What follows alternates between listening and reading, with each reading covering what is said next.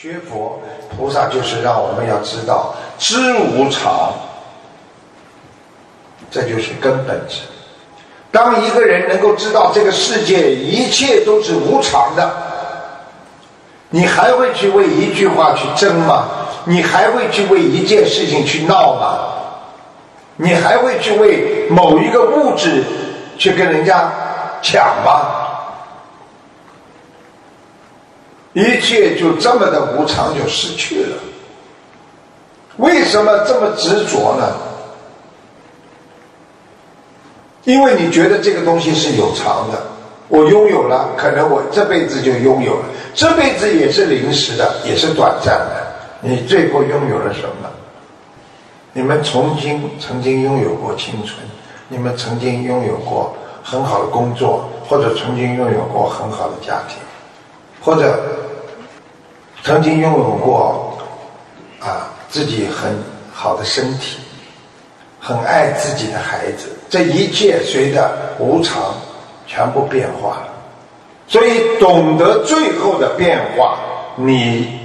就得到了根本智，那么就是《金刚经》里面讲的一切有为法，如梦幻泡影啊，如露亦如电，应作如是观。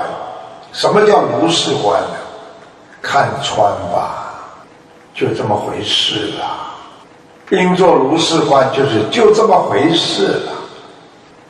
所以我们在人间，每个人都在追求的一些名利呀、财富啊，而人生最大的财富不是黄金啊，也不是钻石啊，那是智慧。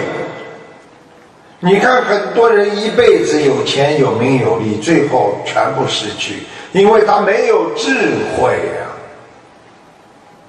佛陀曾经在《正法念处经》当中说过：“宝物归无常，善法增智慧，世间勿破坏，善法常坚固。”这是佛陀讲的，经文里讲：你人间的一切宝贝和物质，到最后。全部都是没有了，无常就是失去了。你如果懂得佛法，懂得行善积德，会增加你的智慧。世间物破坏，世间所有的事物，到最后，其实这个破和坏是两个字合起来。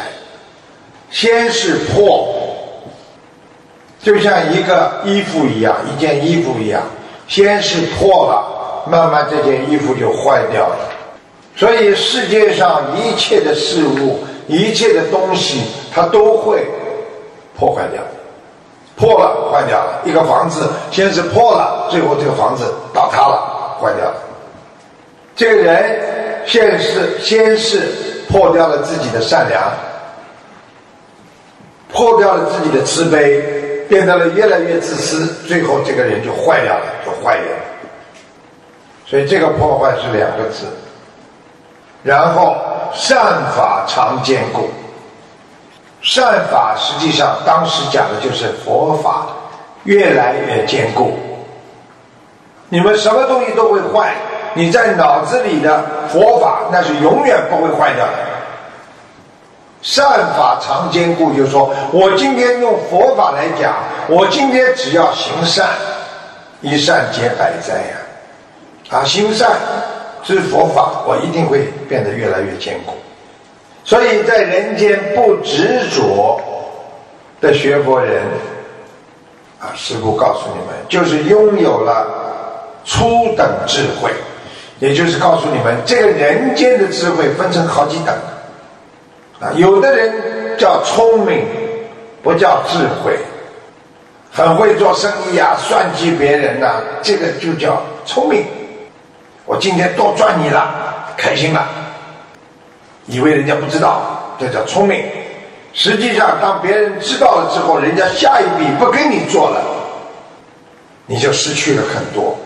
那么，你就是没有智慧。而拥有智慧的人，我给你赚，我给你多赚一点，我少赚一点，下次你还找我。实际上，智慧